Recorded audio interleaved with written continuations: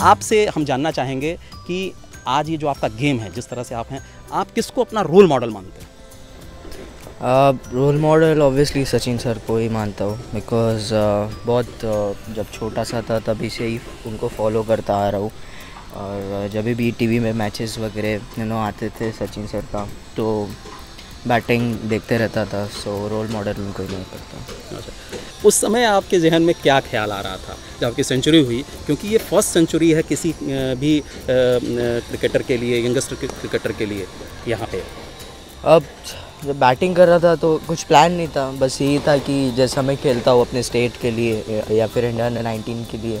बस वही खेलूँगा बिकॉज़ अच्छे चैलेंजेस थे। दिलीप ट्रॉफी का फाइनल था और ईशांत शर्मा जैसे बॉलर ईशांत शर्मा पंकज सिंह जैसे एक्सपीरियंस बॉलर भी थे तो काफ़ी चैलेंजिंग लग रहा था मुझे मज़ा भी आ रहा था खेलने को।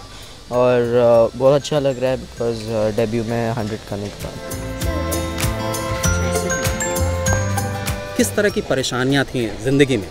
एक कॉमन पीपल अब सबसे बड़ा इशू था, जहाँ मैं रहता था पहले, विरार, जो बॉम्बे से दूर है काफ़ी, ढाई घंटे का रास्ता है सो वहाँ से ट्रैवलिंग का बहुत पहले प्रॉब्लम था। डैड का शॉप था, जो भी गारमेंट्स का, वो डैड ने बंद कर दिया बिकॉज़ फिर मेरे पे कोई ध्यान देने वाला नहीं था सो डैड ने वो बंद किया और मेरे पे पूरा फोकस डाला थ्रू आउट अभी तक जो भी है, बहुत सपोर्ट मिला डैड का।